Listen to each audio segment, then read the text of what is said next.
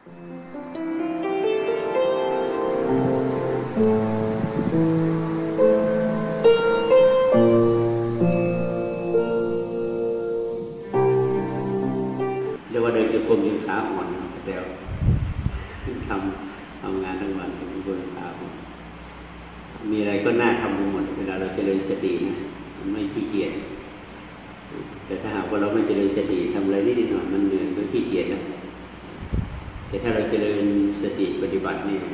ความจริงเราเป็นนักปฏิบัติเนี่ย เราจะทำงานได้เยอะ เยอะกว่าคนที่ไม่ปฏิบัติ แต่คนปฏิบัติแล้วยังไม่เข้าใจ ก็ยังไม่ไม่สนุกในงานไม่ขยันนะดังนั้นก็เลยว่า อยากจะให้พวกเราทั้งหลายที่ปฏิบัติเยอะมาทำงานได้เยอะแล้วมันก็ทำให้เรามีอยู่มีกินไม่ยากจนประหยัดมัธยัติ มันก็จะหลีกเลี่ยงหลีกเลี่ยงอะไรที่มันเป็นการได้เงินได้ทองมาไม่ เป็นไม่เป็นทางการทางงานเป็นทางรัฐมันจะไม่ยั่งยืน นี่ผลของการปฏิบัติ มันจะทำให้เราเกิดความรู้สึกอย่างนั้นดังนั้นเองก็มาก็อยากจะชวนปฏิบัติ เมื่อวานเมื่อวานนมาได้แชร์ข่าวข่าวเรื่องของ รัฐสภาอเมริกาได้นิมนต์พระเข้าไปสุนทรธรรมด้วยรัฐสภาไม่น่าเชื่อพระกรรมฐานนั้นเลยนะ ในรัฐสภาของรัฐสภาไทยยังเป็นพุทธอะมันไม่มีกี่ศตวรรษยังทำไม่ได้เลยเพียงแต่ไปเทศนี่ที่มนไปเสวนาทำเรื่องวิปัสสนาด้วยทางสภาไทยของเราก็เคยนิมนต์พระผู้ใหญ่ไปเทศเป็นพิธี ไม่ได้เอาไปปฏิบัติอะไรเป็นพิธี แต่ทางอเมริกาเขาหลวงพ่อก็เลยแชร์ไปเยอะทีเดียวนะว่าพระพุทธพุทธธรรมของเราเนี่ยได้รับการปักธงลงที่ในการรัฐสภาของอเมริกา ถ้าถ้าอเมริกายอมรับหมายว่าทั่วโลกมันยอมรับได้ แล้วต่อไปที่พุทธศาสนาของเราประเภทผีประเภทพามบอกห้อย บอกว่าให้เบอร์ให้รูปให้เหรียญให้น้ำมนต์กับจุดมนต์ยันอะไรพวกนี้มันก็จะค่อยหายไปหายไป เพราะมันเป็นพุทธไสยศาสตร์มันไม่ใช่เป็นพุทธศาสตร์พุทธศาสตร์จะนิยมใช้เหตุใช้ผลใช้สติปัญญา ในการที่จะทำทุกอย่างเพราะพระพุทธเจ้าที่สอนให้ใช้ความสามารถของคน แต่คนของเราเนี่ยมันไม่ยอมศึกษา ไม่ยอมฉลาดขึ้น มันก็ทำให้พวก คนที่เขามีความถนัดหรืออาชีพตรงนี้ได้อาศัยกันไปพุทธศาสนาก็เลยทั้งพุทธทั้งพราหมณ์ทั้งผีก็ปนกันไป ทีนี้ปีนี้เหมือนกันมาที่ไปอเมริกาเที่ยวก่อนรีบกลับมา เพราะว่ามารับกิจมนที่จะมาเปิดเขาเรียกว่าอะไรโครงการ ความสุขมูลรวมประชาชาติเขามาเปิดที่เชียงใหม่ ความสุขมูลรวมประชาชาตินี่เขาเคยมีอยู่ที่เอามาพัฒนาที่ประเทศภูฐานประเทศภูฐานมาหลายสิบปีแล้วจนปัจจุบันในประเทศภูฐานเป็นเอาความเอาความสุขเป็นผลผลิตมวลรวมของประเทศชาติ ไม่ได้เอาผลผลิตนะ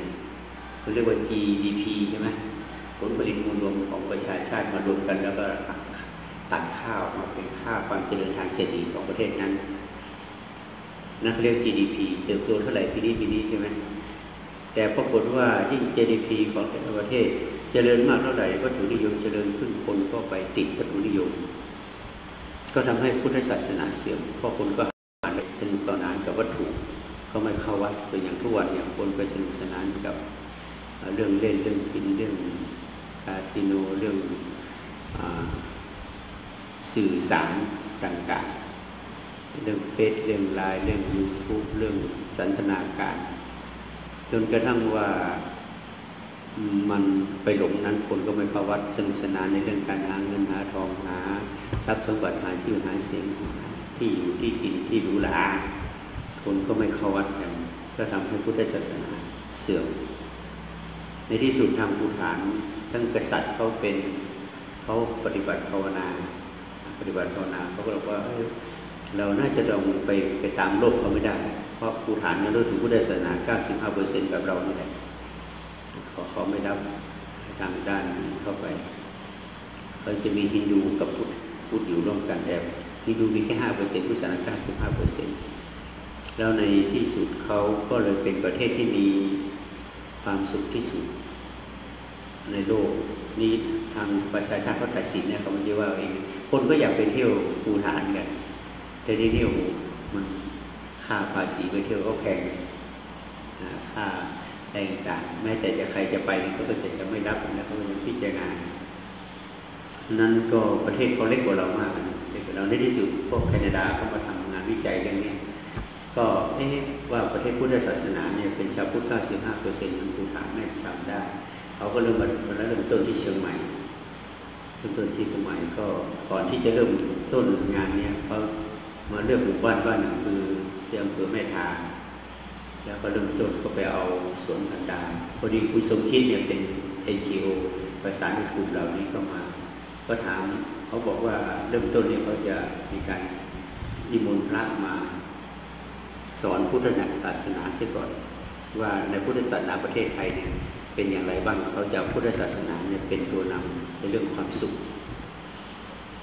คุณสมคิดก็เลยเขาก็ทำเขาเสนอไปที่คุณสมคิดว่าเลือกว่าพระในสายงานประเทศไทย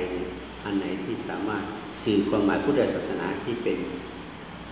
ปัจจุบันที่ให้ความสุขปัจจุบันได้ ที่สุดคุณสมคิดก็โทรหาจะมาว่างานนี้หลวงพ่อจะมาได้แต่วันนั้นเดี๋ยวเที่ยวก่อนมาก็ต้องรีบกลับมา มารับงานนี้มาเขาจัดห้าวันเพราคนมาจากหลายประเทศนะแต่ทางแคนาดาเป็นเจ้าภาพฐานชาวเอเชียมาทั้งหมดจีนญี่ปุ่นเกาหลีฮ่องกงลาวเวียดนาม มารวมกันเข้ามาเข้าพาปฏิบัติ หลังจากพาปฏิบัติแล้ว มันก็จะมีพอดีว่าใช้ภาษาอังกฤษเป็นภาษากลางแล้วก็สะดวกมาก หลังจากปฏิบัติห้าวันเขาก็ไปสัมมนากันต่อ เพื่อที่จะเลือกคัดสิ่งที่เขาปฏิบัติห้าวัน เอาไปลงนำในการสร้างความสุขมุนรวมเขาใช้ภูฐานเขาใช้ด้วยไม่ใช่ GDP เนี่ยเขาใช้ GHP GHP GNP GNP G gross international แล้วก็ H GNH ไม่ใช่ G GNH ตัวนั้นก็คือ happiness ความสุขมวลรวมประชาชาติความสุขมวลรวมประชาชาติ ไม่เป็นผลผลิตมวลรวม ถ้าผลผลิตมวลรวมประชาชาติมัน GDP ใช่ไหมอันนี้ GNH คือความสุขประชาชาติ ก็เดี๋ยวนี้ก็กลุ่มนี้ก็ดำเนินการอยู่ที่อำเภอแม่ทาง เพราะนั้นเราก็จะเห็นว่าความสุขที่แท้จริงเกิดจากการที่เรามา เห็นชีวิตของตัวเองก่อน ว่าเราจะมีความสุขได้อย่างไร ความสุขที่ไม่ต้องพึ่งเงินทองทรัพย์สินเงินทองอย่างความสุขพึ่งชีวิต มีความสุขในการทำงาน มีสมาธิในการทำงาน เรื่องเงินทองของข้าวทรัพย์สมบัติเป็นผลปล่อยได้ ไม่ใช่เป็นผลหลัก แต่ผลหลักคือ การมีความสุขในการทำงาน ในขณะทำงานมีความเลื่อเริงเบิกบานมีความสนุกสนาน ไม่คิดถึงค่าจ้างรางวัลอะไรทำงานเพื่อที่จะให้มีความสุขในงานค่าจ้างรางวัลมันก็เป็นเรื่องของผลผลิตได้ ซึ่งอันนี้มันก็จะตรงกันข้ามกับคนไทยว่าเอาค่าจ้างรางวัลเป็นที่ตั้งถ้าได้ค่าจ้างรางวัลเป็นที่พอใจก็เองเท่าไหร่เท่ากัน แต่ถ้าไม่ได้ตามที่ฉันก็ไม่เอาด้วย อันนี้คือความพุทธศาสนา เขาบอกในประเทศไทยเนี่ยมีพุทธศาสนาหลายประเภท ประเภทที่เป็นผีเป็นพรามก็เรียกว่า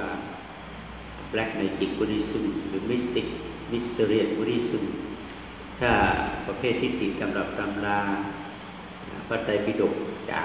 พุทธวจนะจ๋าพวกนี้ก็จะเป็นเท็กชวลบุริซึมบุริกอดตำราผิดไปจากนั้นไม่ได้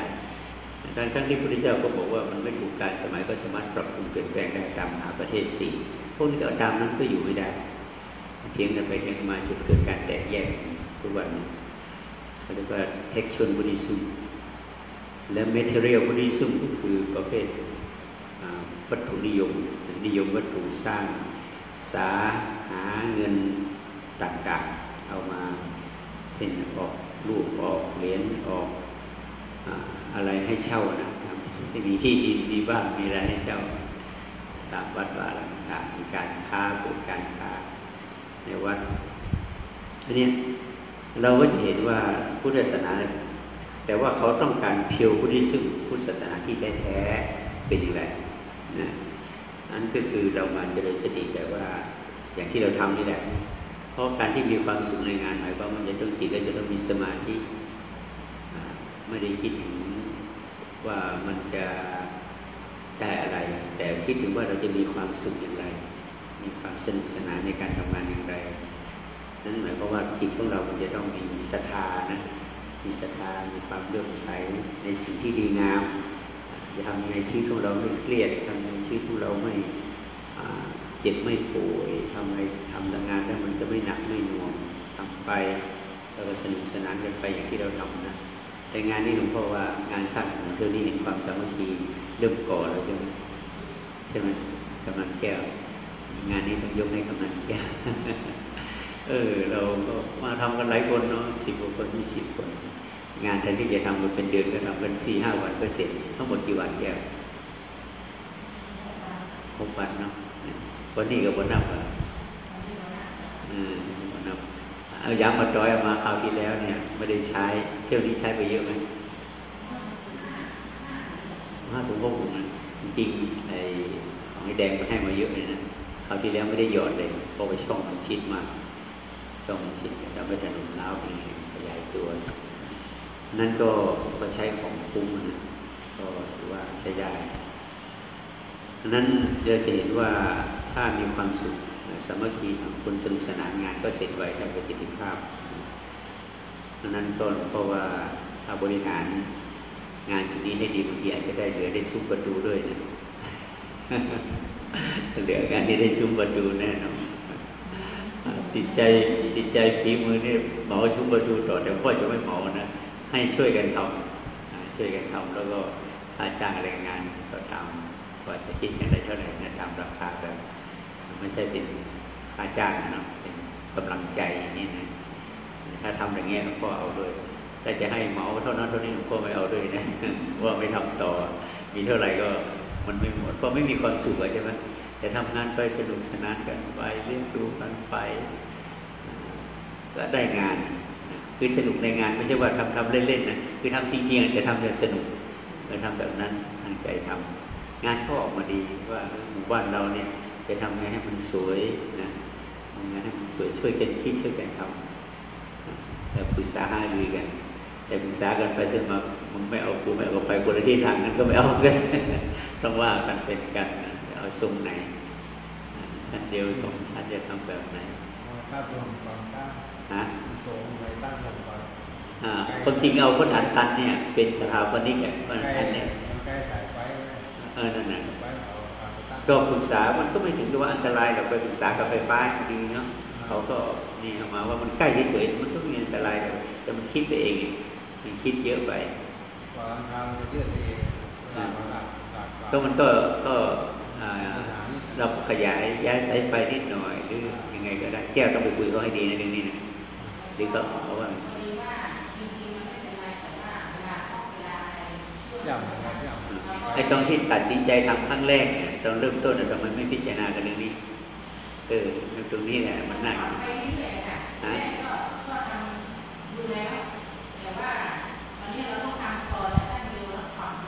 อ๋อปรับใหม่ก็ให้เอาไว้ไหนๆมันก็ไหนๆอะเนาะก็ก็ไหนก็ทีจะเข้าไปช้าไม่ฝังก็เผาใช่ไหม อันนั้นเองการทำงานเนี่ยก็ช่วยก็คิดว่าพวกเราสามัคคีกันพูดเป็นเสียงเดียวกันนะเขาก็คงเห็นใจอะไปขอร้องเขาเออมาอย่างนี้แล้วนะจะว่าไงเหตุมันเกิดไม่เกิดเออเหตุเกิดไฟฟ้าช็อตปุ๊บปั๊บอะไรก็ว่ากันดีไหมอันนี้ก็ยังไม่เห็นก็คาดคะเนกันไปเฉยๆไฟฟ้ามันก็ไม่รู้เรื่องอะไรเนี่ยเราก็มาเถียงกันการทำแสดงนะอันนี้ขนาดการที่ว่าคงไม่เป็นกรณีสำคัญหรอกว่าอันนี้ก็คิดคิดกันไว้ ถ้าหากว่าซุ้มประตูถ้าช่วยกันที่ช่วยกันทำนะโดยเฉพาะให้บริษัทการไปนำทีม เป็นกำลังใจของลูกหลานเพราะอะไรจะได้ออกไอไอเดียเกี่ยวกับเรื่องเออโบราณทำไงบ้านบ้านจะประตูซุปบ้านเมืองอย่างไรที่มันจะทำให้คนไปมาหาสู่ได้สะดวกมากขึ้นอย่างนี้เนาะมีเสน่ห์มีศิลปะคนดูแล้วก็มีอะไรล่ะความสวยงามมีศิลปะก็ช่วยกันคิดออกมา เพราะนั้นงานนี้มาว่ามันจะสร้างสร้างเอกลักษณ์ที่ซุ้มประตูเอ๊ะซุ้มประตูงามขนาดนี้หมู่บ้านนี่มันจะงามขนาดไหนใช่ไหมก็หลังจากซุ้มประตูเสร็จแล้วก็เริ่มพัฒนาเนาะหมู่บ้านไปก็ต่อเนื่องกันไป อันนี้ความปรารถนาของพ่อนะการที่สร้างงานในวัดเพื่อให้เรามีโอกาสได้มีส่วนร่วมช่วยกัน แล้วก็มีโอกาสได้ช่วยกันก็ช่วยกัน เพราะว่าบ้านเมืองมันเจะเดินไปไกลแล้วมัวแล้วมานั่งทะเลาะบาะแวงไปทำอะไรกันไม่ถูกเพราะเราพี่รู้สองน้องรู้หนึ่งปรึกษากันไปเออก็ความคิดอันนี้ดีบางคนไม่เห็นด้วยก็มานั่งคุยกันแล้วจะทำไงคนที่จะดีก็แบ่งกันไปไม่ใช่ว่าเราเก่งคนเดียวไม่ได้เราก็ต้องแบ่งคนอื่นให้เก่งไปช่วยกันเก่งไม่ได้เก่งหลายคนใช่ไหมถ้าเก่งคนเดียวก็ทำไปไม่รอดเหมือนกัน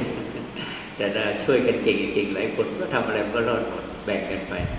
มันก็จะทำให้การพัฒนาบ้านเมืองถ้าต่างคนต่างเก่ง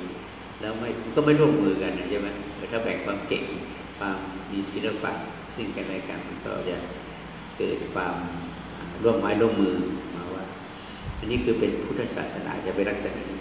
นอกจากมีสติปัญญาแล้วมีความเมตตากรุณาเห็นใจและเข้าใจซึ่งกันและกันนะ ดังนั้นการเจริญสติของเราเนี่ยมันนั่งยกมือแค่นี้นะไม่คิดว่ามันจะเป็นอะไรไปได้ แต่มันเป็นทีละนิดทีละนิดไอ้ต้นไม้ที่เราปลูกอยู่แล้วก็มีหน้าที่เดี๋ยวให้น้ำน้ำใส่ปุ๋ยคนดินใช่ไหมแต่ถ้ามันโตไปได้ไงมันเป็นเรื่องของมันนะไม่ใช่เรื่องของเรานะเรามีแค่รดน้ำใส่ปุ๋ยคนดินเองเหมือนกันนะหมู่บ้านถ้าเรามีหน้าที่รักสามัคคีกันทำอะไรกลมเกลียวกันนะเดี๋ยวหมู่บ้านก็เติบโตไปเอง มันค่อยเป็นค่อยไป แต่ขอให้เรารักสามัคคีเข้าใจพัฒนา เอื้อเฟื้อเผื่อแผ่มาถึงนึกถึงบรรยากาศกับเขาโน่นเนาะถ้าหมู่บ้านนะนะถึงว่าบ้านเราตอนเย็นวันนี้ข้าวเย็นมันไม่พอกินใช่ไหมเราก็ไปอยู่บ้านนี้นะแล้ววันนี้แกงบ้านเราอร่อยใช่ไหมก็ตักใส่ถ้วยไปแจกบ้านวันนี้กำลังดาทันหรือเปล่าเออถ้าอาตมาทันเออโอ้วันนี้แกงอร่อยไม่ใช่บ้านนั้นไม่ได้กินบ้างก็วันนี้ข้าวเย็นไม่พอไปหยิบวันนั้นมาวันนั้นไม่พอไปหยิบกัน เป็นบรรยากาศอะไรที่มันนะน่าอยู่อะดังนั้นก็อยากจะให้พวกเราได้เอางานส่วนรวมเนี่ยเป็นตัวสร้างรักสร้างสามัคคีถ้ามาไปเห็นบ้านเขาแล้วมันคิดถึงบ้านเราอย่างไรนู้นความสะอาดเรียบร้อยมีประตูมีสุดรั้วกินได้ แล้วก็มีซุ้มมีหม้อน้ำตั้งเนาะอะไรทำนองนี้มีป้ายมีอะไร ป้ายบอกทาง ซึ่งในช่วงที่บนันตันที่ยังมีชีวิตอยู่ อยากจะให้พาลูกพาหลานทำเป็นหัวพ่อบ้านสะพานเมืองที่จะพาลูกพาหลานจะได้รุ่งเรืองได้ เอามานานแล้วเอามาก็จะให้เอามาก็จะสนับสนุนฝ่ายทางนี้ฝ่ายทางพระนี่นะก็จะพาพระเนี่ยวันที่วันที่สิบนี่นะ วันที่แปดวันที่วันพระวันที่แปดเนาะที่อาจารย์แปดแปดที่เก้าแปดเออวันที่เก้าวันที่แปดแปดวันที่แปดเราจะต้องมาช่วยกันแพ็คของนะ เพราะว่าปีนี้ทางเลขาเจ้าคณะอำเภอเนี่ยแล้วก็ร่วมกับจังหวัดเปิดโรงเรียนศิลห้ารับเงินศิลห้าเพราะว่าพุทธศาสนาแต่ละวันต้องแสดงผลงาน เพราะไม่งั้นเขาจะ ไม่ให้เงินสนับสนุนตามอย่างทุกปีต้องแสดงเอางั้นกันนะในที่สุดก็ตั้งแต่ต้นมาตั้งแต่เดือนธันวามาใช่ไหมเรื่องบวชพระอะอ่าเราก็จะเป็นต้องช่วยสนุนเอามาบวชมาช่วยหนุนอันนี้ก็เช่นเดียวกัน พอโรงเรียนศิลห้าก็ก็ต้องช่วยสนุนเราก็ช่วยหนุนก็คือขอร้องว่าเราเขาขอร้องนะว่าวันที่เปิดตัวเนี่ยเขาอยากจะมาเปิดที่นี่ เราก็บอกว่าเป็นวันที่สิบก็แล้วกันเพราะวันที่แปดเป็นวันพระโนนาวันษาที่เสาร์อาทิตย์ใช่ไหมแล้ววันที่เก้าเราก็เตรียมจัดสถานที่ แต่วันที่แปดวันที่เราตักบาตรเสร็จแล้วในช่วงบ่ายช่วยกันแพ็คของเพราะอะไรก็หลังจากมาประกาศเรื่องนี้ออกไปว่าเออว่าเราจะมีการสนับสนุนข้าวสารอาหารแห้งเป็นอาหารกลางวันของเด็กนักเรียนเก้าโรงเรียนที่จะเข้าถึงวันสิบห้า เขาจะมาใช้ที่วัดเราในในวันเปิดและวันปิดโครงการมาเรียนตุลาและในช่วงภายในในการนิมนต์พระวัดเรานี่ไปอบรมตามเรียนต่างๆด้วยแต่เจ้าอบรมที่นี่เราไม่มีเวลาพอบางความจริงพราะมันก็ได้อยู่วัดเพราะว่าต้องไปอบรมที่ต่างๆฉะนั้นเขาก็เลยว่าขอทำพิธีเปิดปิดที่นี่แล้วก็เราช่วยเป็นฝ่ายสนับสนุนด้วย มาประกาศเรื่องนี้ไปพระครูได้โยมรู้สิทธิ์สตเตียสงฆ์เนี่ยก็อยู่ที่เชียงโคก เขาก็เลยบริจาคประสานมาหนึ่งตันในโครงการนี้นอกนั้นก็จะเป็นของไข่พวกอะไรต่างไข่ที่บริจาคมาให้บริจาคไปก่อนห้าพันลูกนะก็เหลือข้าวทีนี้ข้าวหนึ่งตันนี่มันพันกิโลใช่ไหมว่าเดี๋ยวพันพันกิโลนะทีนี้เก้าโรงเรียนนี่ยนักเรียนประมาณสี่ร้อยคน ซึ่งเอามาว่าถ้ามาแบ่งส่งไปตามโรงอาหารกลางวันของแต่ละโรงเรียนเนี่ มันก็จะไม่เวิร์กนะเพราะอะไรโรงเรียนแต่โรงเรียนก็จะเหมาใช่ไหมมีผู้รับเหมามามาเลี้ยงเป็นเป็นเจ้าไปอะ ถ้าเราเอาเอาข้าวสารนี่ไปไว้ที่โรงครัวโรงเรียนเนี่ยมันก็จะไม่ได้ประโยชน์เขาอาจจะไปขายเพราะเขาไม่เคยทำใช่ไหมเพราะเขาเขาเหมาเป็น เป็นว่ากันเป็นเดือนเป็นปีไปแล้วอะอามาก็เลยคิดใหม่ว่า เอาแจกโรงเรียน แจกนักเรียนเลยนะแบ่งเป็นสมมติว่า หนึ่งพันกิโลเนี่ยนักเรียนสี่ร้อยคนเนี่ยมันได้คนละเท่าไหร่ก็หารกันแล้วก็ทำออกมาเท่านั้นถุงสี่ร้อยถุงต้องไปคิดกันดูว่าหนึ่งพันกิโลเราแบ่งมาเป็นสี่สี่ร้อยชุดเนี่ยมันจะตกชุดละกี่กิโล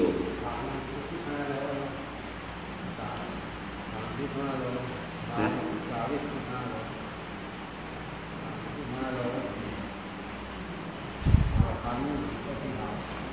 พันกิโลอะมันถือว่าหนึ่งสี่ร้อยสี่ร้อยคนก็สี่ร้อยกิโลนะถ้าแปดร้อยกิโลมันก็คนได้สองกิโล มันเกิดได้อีกสองร้อยโลก็มาหารกันในสองร้อยโลก็ตกประมาณอย่างน้อยก็คงอะสองลิตรครึ่งฮะได้สองโลครึ่งเนาะก็ประมาณนั้นเราก็จะมาบรรจุถุงได้สองโลครึ่งเลยนะถ้าสมมุติว่านักเรียนเขาเขาหวังได้เรียนสี่ร้อยถ้ามาแค่สามร้อยห้าสิบ เราก็จะเหลือเราก็จะแจกชาวบ้านอันนี้ห้าสิบถุงละห้าสิบกิโลเพราะนั้นก็นี่นะโอกาสผมคิดว่ามันคงมาไม่ครบเหมือนนักเรียนนะนักเรียนเขาก็พัดป .4 ป .6 มา แต่เฉพาะโรงเรียนวัดดอกปานที่เข้ามาตั้งแต่ป .1 ถึงป .4 จเปิดตัว ก็ได้รับหมดแล้วนะเขาก็ให้เลขาเนี่ยคำนวณมาวันนั้นก็มาเปิดโครงการกันที่นี่ตอนตั้งแต่เที่ยงครึ่งจนไปถึงสามบ่ายสามโมงครึ่งในช่วงบ่ายก็อบรม แต่พวกเราก็คงจะได้อยู่ด้วยเพื่อช่วยกันแจกของนี่แหละวันวันที่แปดวันวันเอ่อวันวันวันเข้าพรรษาพรรษาอาหารนะบูตักบาตรกินข้าวกินปลาเสร็จแล้วเราก็มาช่วยกันบรรจุไม่กลับเลยอ่าไม่ต้องกลับอะก็ทำก็สำหรับเจ้าภาพที่จะส่งข้าวสารมาต้องมาต้องมาถึงก่อนวันที่แปดประมาณที่หกที่เจ็ดเนี่ยก็ประสานกันแล้วก็จะส่งมาเข้าขึ้นมาก่อน เราก็ยังเตรียมไปหาถุงหาไทยอะไรบรรจุให้มันถุงแบบซิปล็อกอะใช่ไหม ให้มันได้สักสองกิโลสองกิโลขึ้นมาน่าจะทำดีเจ็ดก็หาวัตถุวัตถุที่บรรจุวันที่เจ็ดวันที่แปดแล้วก็การสอบก็ก็ไปหามาดูมาแล้วอันนี้ก็คืองานเกี่ยวข้องกับพุทธศาสนา ในส่วนที่เป็นฝ่ายทั้งเป็นสมมุติเนาะฝ่ายสนับสนุนเราก็ต้องทำแล้วก็ฝ่ายปรมัตถ์คือการใช้ธรรมะในการพัฒนาทั้งคนภายนอกภายในเป็นสิ่งจำเป็น ถ้าเราไม่ทำอย่างนี้นะพุทธศาสนาเรามีบุญวาอะไรพวกคริสต์อิสลามมันทะลุเข้าไปทุกที่เลยนี่แล้วก็อ่าทำท่าว่ามันจะไปไกลด้วยนะในพออิสลามที่เขาไปเป็นเจ้าหน้าที่ระดับสูงทางศาสนานะเพราะว่าตัดการสนับสนุนอะไรต่างๆออกไปดังนั้นเราจึงช่วยกันนะถ้าเราจะมัวโอเอถกเทียง แตกสามัคคีกันไม่ได้ เราจะต้องรวมรักสามัคคีกัน แล้วก็มีอะไรก็มาช่วยกันทำกิจกรรมนะถ้างานนี้พูดกันเป็นกัน ก็งานซุปเปอร์ทูก็ดีงานทำกันบนถนนก็ดีนะก็เป็นสัญลักษณ์ว่าเราจะมีการพัฒนาหมู่บ้านร่วมกันได้ด้วยให้เป็นสัญลักษณ์แบบนั้นนะดังนั้นก็แล้ววันที่ 19 ตุลาเป็นวันปิดโครงการ เราก็คงจะได้ มีการทำกิจกรรมอะไรสักอย่าง เพราะว่าปีนี้เราจะทอดกระถินวันเรา 29 ตุลานะจำไว้นะ 29 ตุลา แต่ว่าใน 19 ตุลานั้นเราเด็กนักเรียนอีก400 คนก็กลับมาที่นี่อีกที่โครงการก็อาจจะมีการหาวัตถุปัจจัยอะไรที่เป็นของชำเรยกับนักเรียนดังนั้นก็อยากจะให้พวกเราได้รักสามัคคีกันกลมเกลียวกันเพื่อจะมาช่วยกิจการศาสนา ทำอะไรก็ได้เป็นที่พึ่งของบ้านของเมือง ในช่วงที่พวกเราอยู่กันนี่แหละ ถ้าหากว่าตกไปพวกลูกพวกหลานนะมันยิ่งพูดก็ไม่รู้เรื่องเลยพราะวันตะโกนดาออกบ้านออกเมืองไปมันกลับมามันก็ไม่เอากันนะไม่ไม่ไปคนละที่ทางคนรุ่นลูกคนเรานี่ก็รวมกันยากแล้วเพราะฉะนั้นพวกเรารุ่นพ่อรุ่นแม่เนี่ยต้องพยายามทำให้ได้นะแล้วก็ทางหลวงพ่อเองก็จะมีกำลังใจได้อยู่วัด ถ้าหาว่าอยู่วัดแล้วได้ฟังในเรื่องชาวบ้านไม่เข้ากันหลวงพ่อก็ไม่อยากอยู่ไปนู่นไปนี่งาน ไม่ใช่อยากไปนะงานมันพาไปงานมันพาไปเลยทำมาเพราะที่ไหนที่มันทำคนที่เขารักเขาสมัคคีเขาปฏิบัติธรรมกันเขาก็นิมนต์เราไปอะใช่ไหมให้อยู่กับวัดไม่เห็นว่ามีงานปฏิบัติธรรมอะไรพ่อไม่มีกิจกรรมอะไรมาทำครั้งนี้ดีกว่าไปเสียเวลาอยู่นั่นทำไปเราก็พูดกันอย่างนี้พ่อจะเป็นต้องไป แต่เดินพ่อมีงานทำนี้บ่อยๆพ่อกับพ่ออ้างได้เออตอนนี้มีงานตอนนี้มีงานนะเราก็ปฏิเสธนิมนทางอื่นแต่เราไม่มีกิจกรรมอะไรเป็นเรื่องเวลาบ้านเราเราก็รับไปทั้งเพราะว่าเวลาผ่านไปวันๆถ้าเราไม่มีงานเลยทำมันเสียเวลา นี่ก็เหตุผลนะดังนั้นก็ในการปฏิบัติที่แต่ละวันที่มานั่งทำวัดเนี่ยวันนี้เห็นยายมอยมาก็มีดีใจ ว่ายังมีโอกาสรอดมานั่งปฏิบัติทำหลายคนที่ตายไปยังไม่ได้มีโอกาสอย่างนี้ตาบนยังไม่มีโอกาสมานั่งปฏิบัติอย่างนี้เลยยายมอยมีโอกาสจะได้บุญถึงนะมาทุกวันก็ขับรถเองได้เลยนะเออไม่ใช่ธรรมดานั่นก็ตั้งใจทำไป เพราะว่าโรคภัยไข้เจ็บเนี่ยมันไม่ใช่หายด้วยยาอย่างเดียวมันหายด้วยกำลังใจบางทีบางคนโอ้เป็นมะเร็งร้ายแรงไม่ตายก็มีเพราะกำลังใจดีเพราะกำลังใจดีมันก็ เพราะว่าเป็นโรคภัยไข้เจ็บมันก็มาจากใจไม่ดีนั่นแหละพอใจไม่ดีมันก็แผ่ไปหากายกายก็ไม่สบายเพราะใจเป็นโรคมันก็แผ่ไปสู่กายถ้ากายของเราเป็นโรคแต่ใจไม่เป็นอะไรก็เดี๋ยวก็หายเพราะมันจะเยียวยาเขาเรียกธรรมโอสถดังนั้นการเจริญสติทำสมาธิเจริญปัญญาเนี่ยเรียกเป็นธรรมโอสถยกไปนั่งยกไปอย่างนี้แหละถามว่ามันจะเป็นอะไรมันก็เป็นแหละมันก็เป็นไปเรื่อยๆ เหมือนกับเราปลูกต้นไม้ปลูกไปเถอะเดี๋ยวก็โตมันเองนั่งสร้างจังหวะกันบุญก็เกิดกุศลก็เกิดศีลก็เกิด สมาธิก็เกิดปัญญาก็เกิด แต่มันเกิดทีละนิดทีนิดเหมือนรากไม้เราไม่เห็นมันหรอกนะรักแก้วรักขวดมันขยายไปขยายไปแต่จะไปนั่งดูทั้งวันว่ามันขยายตัวไม่เห็นอย่างไรใช่ไหมมันค่อยๆมันก็มันขยายตลอดเวลา ขนาดหินเนี่ยมันยังแตกเลยใช่ไหมรากรากไม้เข้าไปมันแหลกขนาดการขยายตัวตลอด เหมือนกันขณะที่เรามีสติมีสมาธิในการดำรงชีวิตเนี่ยจิตใจร่างกายของเราก็จะมีขยายศีลคุณศีลคุณสมาธิคุณปัญญาไปเรื่อยๆทำตั้งแต่ตื่นจนหลับทำอะไรทำความรู้สึกตัวจะถอนหญ้าจะล้างถ้วยล้างชามจะทำงานหนักเบาในรู้สึกตัวไปเรื่อยๆนั่นคำว่าภาคปฏิบัติที่พ่อพูดนี่มันหมายถึงว่าต้องมานั่งยกมือสร้างจังหวะวันนะแต่ว่าทำงานทุกวันนั่นแหละแต่รู้สึกตัวไปด้วย รู้สึกชัดๆแต่วันนี้พ่อเดินทำงานทั้งวันจนขาอ่อนเลยพอพอหายพออยู่แล้วก็หายเหนื่อยก็หายแล้วก็จะไม่เหนื่อยทุกวันดังนั้นก็เรียกว่าทำงานให้สนุกมีความสุขในการทำงาน ถ้าเราจะเรียนสตินะก็คิดว่าถ้าพวกเรามีความรักสามัคคีทำสร้างบ้านสร้างเมืองร่วมกันก็มีโครงการในเดลีนี้ได้อย่างที่อยากจะทำเราก็จะพากันไปดูงานแล้วก็มาดูอย่าง เอาตัวอย่างมาทำมีอะไรทำน่าทำหลายอย่างนะที่เขาประสบสำเร็จ แต่พอให้เราทำในหมู่บ้านของเราเนี่ยมีทำอะไรมีความรักความสามัคคีเดี๋ยวมันก็เกิดสติปัญญาไปเห็นตัวนั้นมา โดยเฉพาะเดี๋ยวนี้เนี่ยใน YouTube ในเว็บไซต์อะไรต่างๆ เราอยากจะรู้เรื่องอะไรเข้าไปเรื่องบทนะสาธิตให้เห็นบทว่าจะทำอะไรเพื่อทำมาหากินทุกอย่างเนาะแต่บ้านเรามันเรียกว่า low-tech เนาะ อันนั้นก็ไปเฟซไปไลน์ไปอะไรไปดู YouTube อะไรยังไปไม่ค่อยเป็นเลยว่างั้นเลยอย่างคนอันตันเนี่ยคนอายุมากแต่ไฮเทค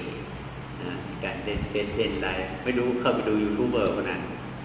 เออเข้าไปดูด้วย แล้วก็เอาความรู้มา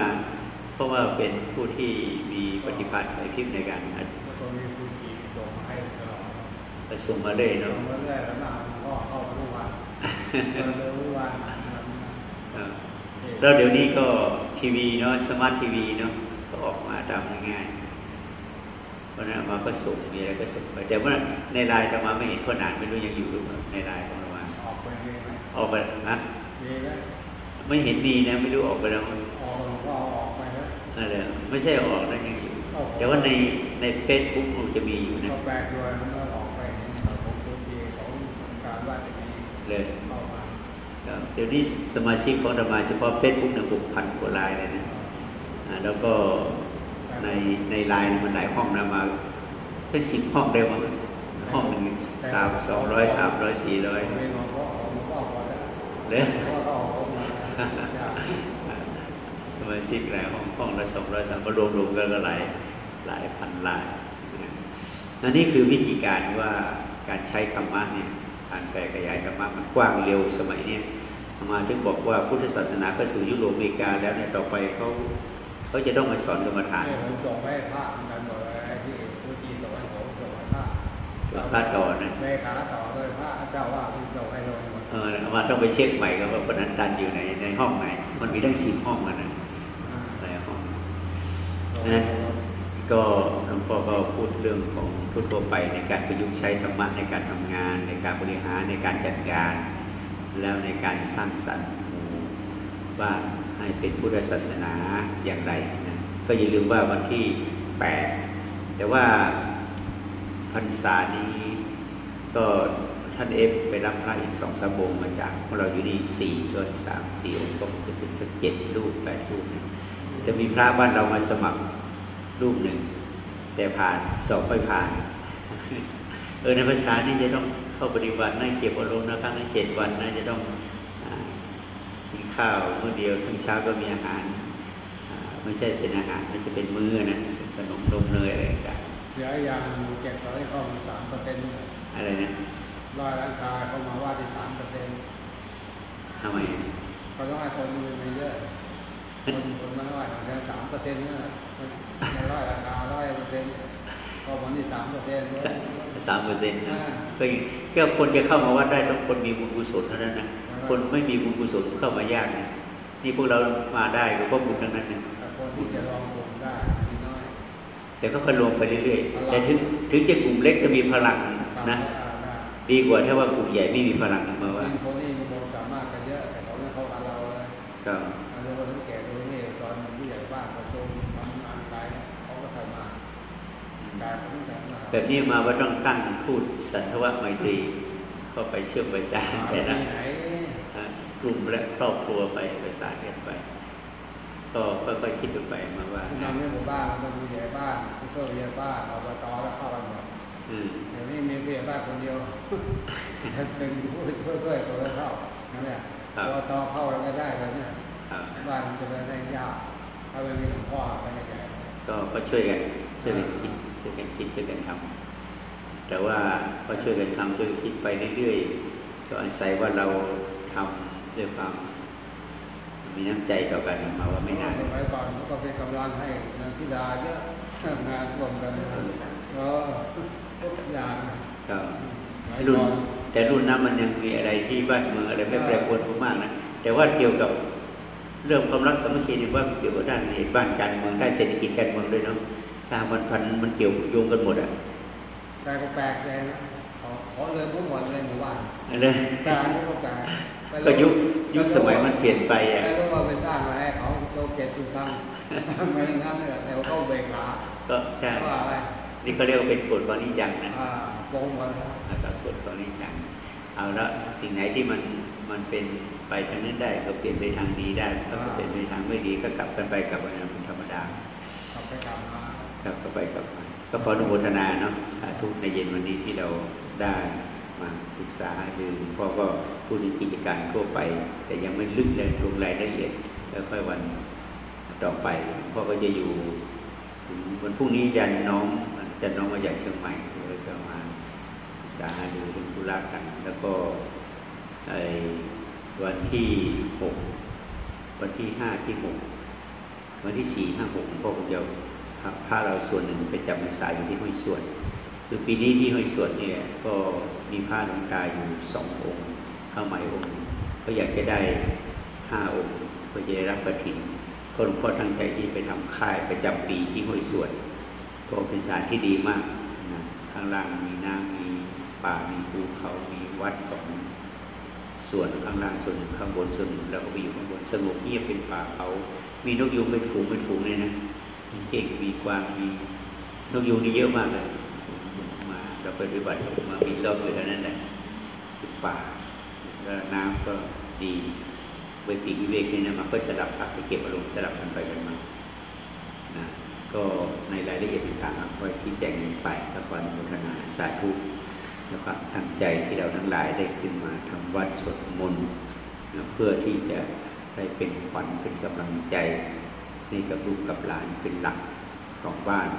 เป็นหลานของเมือง เป็นฐานของเมืองเพื่อจะได้พัฒนาให้ลูกหลานของเราได้มีอยู่มีกิน มีความรักสามัคคีรักษาหมู่บ้านรักษาเป็นดินของเราไว้ได้ รักษาพุทธศาสนาให้อยู่ตลอดไปด้วยกันทุกคนทุกท่านเอง